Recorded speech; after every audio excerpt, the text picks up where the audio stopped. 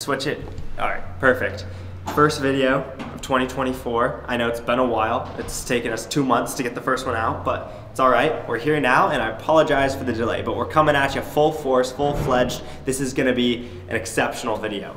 Right now, we're in the dorms. It's the night before. Like always, there's a lot of preparation. So you have to pack all of our gear, all of our clothes, and then obviously do all of our homework. But right now, I'm just gonna head over and grab some of my laundry. We got Justin here. Justin's, I, have you been What's here up? before? I don't think so. All right. Well, this is Justin, guys. He's one of the one of the homies in uh, West Lag. Um, yeah. Basically, Am I taking this camera all the way down to the laundry room? yeah. Come with me. From the outside, this dorm is just beautiful. Like it's actually like I think it's just so insane how how it looks from the outside. And I say from the outside because from the inside, it's kind of it's not miserable, but like it's not like you know you would expect it to be a little bit more uh, detailed and intricate um, from the from looking at the outside on the inside. But it's all right. It's still really nice. All right. This looks like we just set it up to be an on ad, but it, I swear it's not. I, we just got these and I was trying to wash them because it was a little bit big, so I wanted to shrink it a little bit. What so do we do? What do we do? Two two hot washes and hot dries. yeah, to try and get it a little bit smaller. I think it's just yeah, it was a medium, but it was a little bit big, so I wanted to do that. But other than Close that, door. Don't be rude. well, I, I like to leave it open. That way people know it's open. Okay, close it. This has got to be Milo's. Dude. Good to see. This is my other roommate, uh, Tigran. Uh, hello, everyone. I actually think that the cut may have not gotten Raj, isn't it? But yeah, this is Tigran. He lives in the center of the room. Raj lives on that side.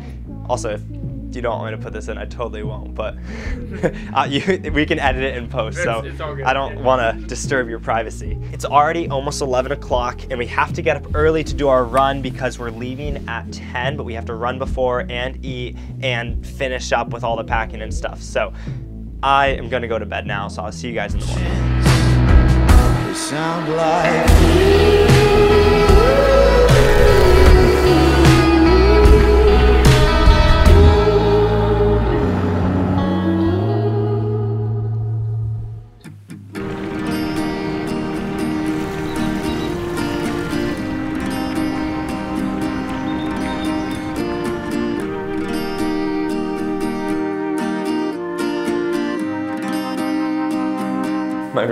Still sleeping. Don't want to wake them up. That is the the one downside of uh, being a college freshman at Stanford is you have you tend to have many roommates. Um, but it's okay. Anyhow, this morning we're hitting a we're hitting a pre-race. Uh, unfortunately, uh, we kind of traveled kind of late, right? So it's like we get there, we get to Washington this evening, and we basically have to get a good meal in. I'll have a midterm to take and then we'll go to bed because the race is the next day, right? So with today already being the day before the race, we've got to do our pre-race here on campus, which isn't preferred. I'm not a huge fan of doing the pre-races right when I wake up. I'm just never that like into it. My legs are always a little stiff, but um, we're gonna make it work. Anyhow, I'll get a little stretch in and then we'll be good.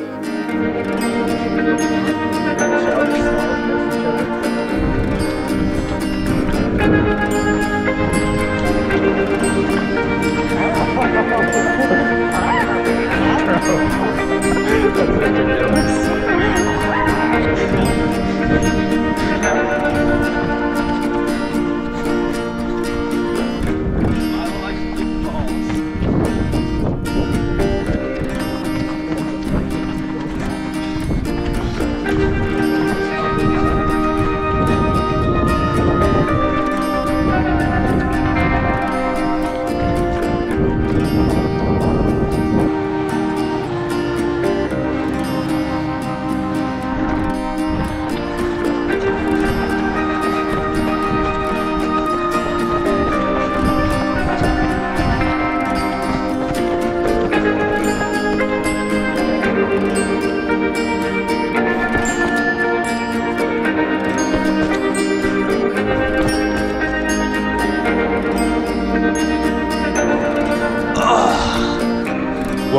there are our strides for the day. Our pre-race is mostly done. We just did, we did a, we did a, a 100 meter stride, two 200 meter strides, and another 100 meter stride to cap it off. Um, With jogging. with jogging in between. I think that it's a good it's a good way to do it because you just kind of like you work into it. You feel kind of bad the first one, especially when it's early in the morning like this. Um, when you're in trainers too. Um, what are you wearing, Lex?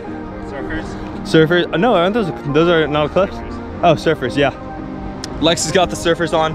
Um, a great trainer, but by no means the fastest shoe. Um, but No, they're perfect for easy running. yeah, yeah, perfect Not, for easy not running. a workout shoe, but they're good. Not a workout shoe. I like them for easy running. Yeah. So, but yeah, it was a good pre-race. Now we're just gonna jog on back to the dorms, get cleaned up, get some breakfast in us, and make sure we're at the buses by 10, which is actually right back here at the track.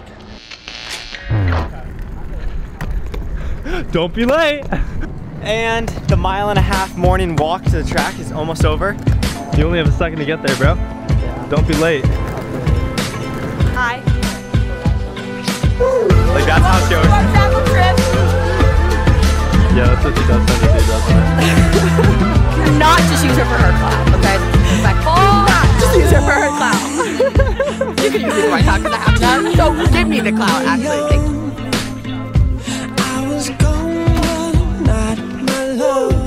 Got ourselves 150 per DM. It's pretty good.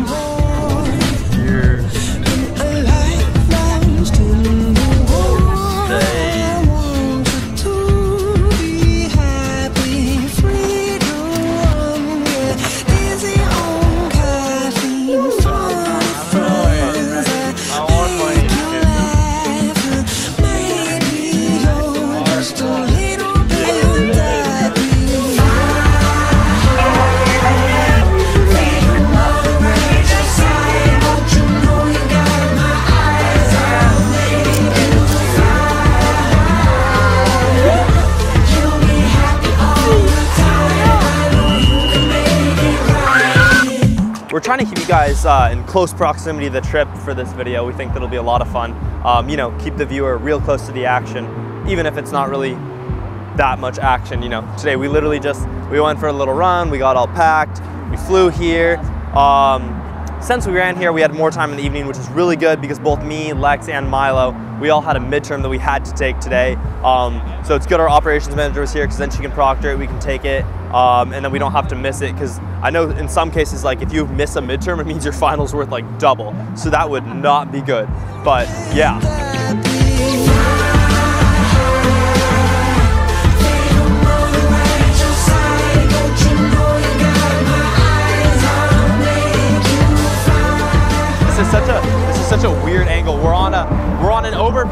Over a freeway with a busy road right next to us. So the audio is either going to be okay because the mic's close to me, or it's going to be terrible. But regardless, the mission right now is go back to the hotel, get a little. We'll probably stop Trader Joe's, get a little snack, and then just relax. Right? We've got a race tomorrow evening. We have very little obligations between now and tomorrow evening. And what that means is we're just gonna focus on getting ready for that race. We're gonna get really good sleep tonight, try to really wind down this evening, maybe watch a movie as a team. And then tomorrow we'll probably just hang out, go for a little shakeout in the morning, and make sure that our both our mind and our bodies are just dialed in and ready to um, have at least whatever the best performance is we can push out on the day. But yeah, let's let's get to it. First question, uh, let's say, what are the possible outcomes of the race today? What could happen? What are you looking to do? Well, it's a 3K. It's going off around 6 p.m. We have me, you, Milo, Cole, and then Kai pacing it. So we have a very good crew in it, which will, I think, simulate almost a workout environment where we're all working together, uh, you know, keying off each other, all kind of striving towards the same goal. I'd like to run between eight or 755 and 750, I think is realistic. I think that's probably the realistic range of outcomes. So that's uh, that's what I'm shooting to do. Obviously, you know, I'm gonna give it everything I have. So if there's something more, something that feels stronger, you know, I'm in the last couple laps of the race and I'm just yeah it's just one of those days where you feel where you feel that extra bit then absolutely you know I'm gonna capitalize on every bit of strength I have but I think 755 to 750 is probably the realistic range of outcomes What's your focus right now? Are you more? What are you focused on? Are you focused on getting a crazy time now? Are you focused on running a fast No. 5K later? Where Where's your head at in terms of your goals, in terms of the broader? I think looking at the broader scheme of it, I view indoor more as uh, like a preseason for outdoor. I think that's how it should be viewed. I think trying to have three full seasons in the year is aggressive to try and peak for all three of those. So I think it's, you're better off using indoor as kind of a launch pad to build fitness and tune yourself a little bit going into outdoor. And I think that's what we're doing. I mean, I haven't, I'm not really peaking at all for this race. I ran 85 miles last week. You know, I'm really in a heavy block of training and that's what I want because ultimately my goal is to be competing my best at NCAA's outdoor and Olympic trials if I can qualify. That's, that's the end goal of this season for me. So today it's just about getting a moment in time where I can view my fitness right now. So it's, it's not high stakes, but it also is the last race of the season to do um, something, you know, really special. So it's I'm very excited for it. I, I had one 3K earlier in the season. It was, it was really bad, probably one of my worst races in a long time. I think primarily I was just, I was not confident in my fitness and I wasn't confident in, in the race and I, I just fell asleep. It wasn't some, it was not, that's not a race to be proud of. So now coming after that, I've run last two weeks ago I ran 1349 in the 5K, which was good, and I definitely know I'm fitter than that. So I know my fitness quite well, and I know I'm at least in 755 fitness. So that's what I'm gonna go out there and do. Training recently definitely hasn't been a an easy thing. There's been a lot of little things blocking me from getting to train as much as I'd like. I don't know how much it'll affect or has affected me, but what I can say is that I've been able to hold my ground in workouts just fine, I think. And I think that's something that I'm gonna have to look towards for the race. I think having my teammates in the race, having Lex, Cole, Kai, Milo, you know, all those guys in the race with us, I think that'll have a big effect because it'll be like, okay, I'm just gonna sit in that pack, I'm gonna sit behind um, Cole and Kai and Lex, and we're all gonna work together and we're just gonna see what we can do. And if I get through, what is it? It's, I guess it's 9.8 laps, right? Because it's 304 meter track um, for a 3K. Um, if I can get, if I'm at, if I get to seven laps and it's terrible, but I'm kind of hanging on, I'm just gonna hang on as long as I can. Who cares, right? We're just gonna try to send it and have some fun with it. That's really what we're here to do. It's the end of the season. Um, I think that like I'm not tied to any outcome. I don't know if I'm in shape for eight minutes or 750, right? But I know that I'm gonna go out there and just push as hard as I can. I've worked very hard to try to optimize my, my how I'm feeling in my nearly anything that I have control over. I've done a good job of trying to control, and everything I don't have control over, I'm just trying to not really think about, not really worry about too much, and just you know, relax, take a step back, and enjoy the sport for what it is, which is just going out there on the day and seeing how much you can hurt and how much you can push yourself. And that's what I really like about it. So that's what we're gonna try to do this this early evening tonight.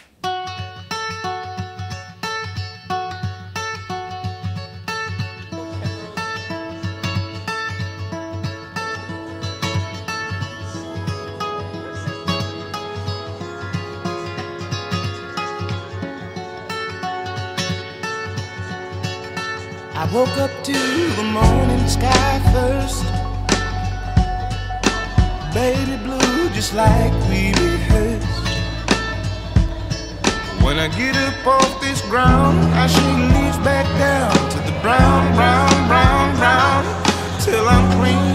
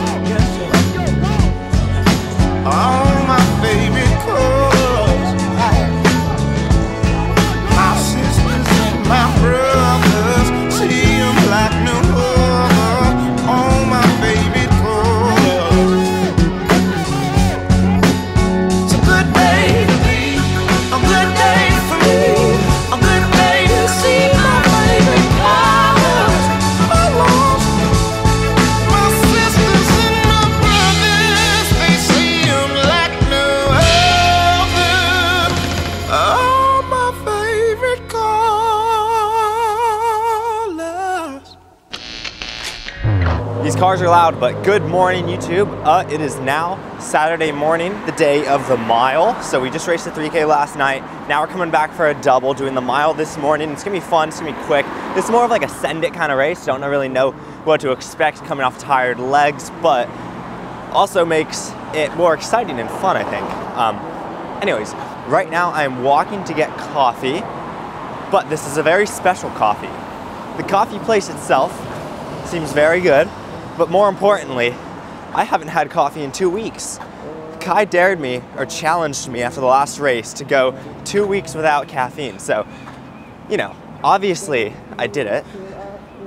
And now I'm going to get some coffee. I only have a couple minutes to drink this coffee. It looks beautiful, but sadly we have to leave at 9 and it's like 8.53 already, so I have to drink this, then walk back over pretty darn quick. Hopefully my sandwich comes in time. I might have to scrap the sandwich, in which case that's not gonna be good. But look at this thing. Oh, looks pretty cool. So first coffee in two weeks.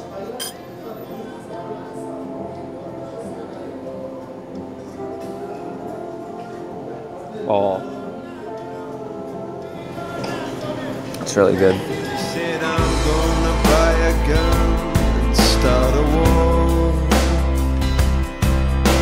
If you can tell me something worth fighting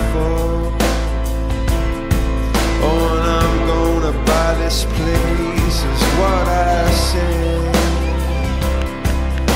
Blame it upon a rush of blood to the head.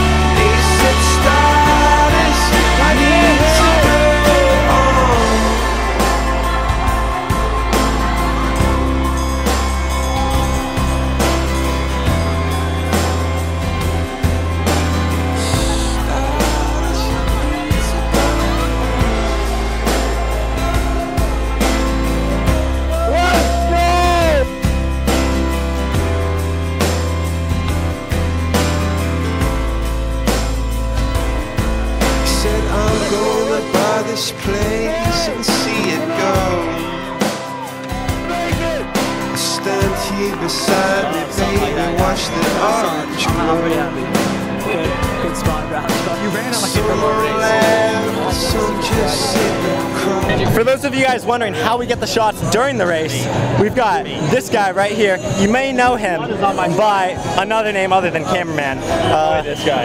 yeah, he got some good shots. Hopefully, actually, I don't know yet. It might Probably they might be completely Every dog everything water, everything Cap on the filmed entire Yeah, he actually had the lens cap on. everything filmed this weekend was definitely me.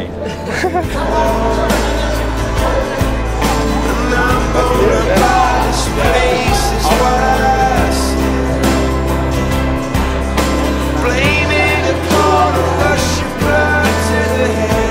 races are now over. It is Saturday afternoon, 2:55 p.m. We are waiting for the bus so then we can head back to the airport and head back to Palo Alto.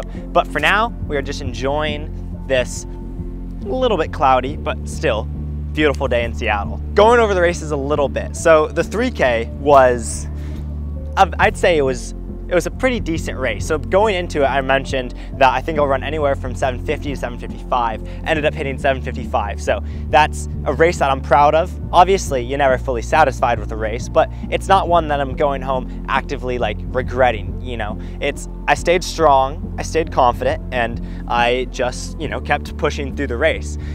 In hindsight, I think I definitely could have gone quicker. I don't think I was right on that threshold. There's always a, you know, when you get pushed to that threshold where you either drop off or stay on, like where, like, I wasn't quite at my peak uh, pace, I think. So that gives me some optimism and some excitement for the future going into outdoor, knowing that I probably could run, I'd say around 750, 48 or something around there. Probably that's where the fitness lies. Um, the mile today. No, I know there's not going to be a 3K in outdoor, but I just mean that's where I think my fitness is, which obviously can then translate to a 5K. But for the mile, that was a really fun race. I kind of went into it with uh, like a send it, just just go for it, have fun kind of mentality, you know, because I had already done what I came here to do in the 3K, and now it was time just to go for a fun race and try and lower my indoor PR from 407, which is not very quick, to go a little bit faster. Still wasn't, you know, an insane time, 403. It's not that quick, but I was happy with the way I ran it. I think if the group had stayed on the pacer, I think I could have gone a lot faster. Obviously, that's much easier said than done. I stayed on the group. I stayed strong and powerful, I'd say, uh, with one lap to go, so like 320 meters probably because I started on the last straight. I came around most of the race and just led into the last lap, which definitely gave a confidence boost, definitely felt really amazing. You know, it's just like invigorating and it makes you, it, it reminds you why racing can be so fun. So I definitely enjoyed that. Probably did a little bit too much than I, more than I needed to because then I got past going down the final straight. But I think generally learning from this race, I just was not like the 3K. I wasn't on that. Who passed you? You? Yeah, I interviewed Leo after the race asking what he thinks about when he's coming in for his kick because I'm like, he's always passing me and he just thinks, oh, I look at the guy in front of me and I think I'm gonna get him. So I was that guy. Just look at the guy ahead of me and I say, I'm gonna get that guy and I go. I guess I was that guy. but uh, yeah, learning from this race and from the 3K, I think both, I just, I'm fitter than I think and I can ride a much faster, much higher red line than I thought. So I think uh, like that 403 felt like one of the easiest miles I've ever run. I think I, I, think I'm at at least like four flat 359 fitness, which makes me really excited for outdoor. Like I can't wait to rip a fast 5K. This weekend was a lot of fun. Um, I'm actually starting to really enjoy, you know, back-to-back -back racing one day and the next day. Um, it definitely deteriorates the performance a little bit of the second day. At least that's what I'm finding, or maybe I just need to adjust to it better. But I still enjoyed it. I think the 3K on Friday was really good. I'm generally pretty happy with how it went. I got a new PR, broke the Stanford freshman record again. Um, the difficult aspect of it was mostly just that I didn't quite, like, coach said he didn't want me quite to stay on Cole and Kai because that pace would be a little bit quick. Um, but at the same time, that kind of put me back a little bit in no man's land. So I had to figure out what to do and how to keep it strong. So there's a lot of the race where I just didn't really have anyone in front of me and I felt like I had to set the tone for it. So I spent a lot of the race um, without very much of a, without that, without really like a pacer or anything like that. So I really had to uh, like be in charge of it. But it ended up being pretty good. A few people passed me throughout the duration of the race, but then I made sure, but then I really, really focused on closing it down the last K, 800 meters, something like that. And anyone who passed me, I passed them back. So I ended up being second in the race, which I was pretty happy with. The mile today was pretty fun. Um, we had a good crew. It wasn't super, super quick, but we raced it well. Uh, it was kind of fun, especially because like Lex made a move, like he said, around like 300 to go. I saw him going around. He had some ground on me. I was like, dang, he's running strong. And then I was like, but then at the same time, I was thinking, I was like, yeah, he might have gone a little too early. Um, but I, so I had a lot of fun kind of hawking him down at the end and trying to get him. Um, I definitely, I definitely was just like trying to, I definitely was having some fun with it, but it was a good race. We always have a good time racing each other um, and pushing each other. And I was just happy to see him go around me instead of sitting on me the whole 3K. We really enjoyed making this video.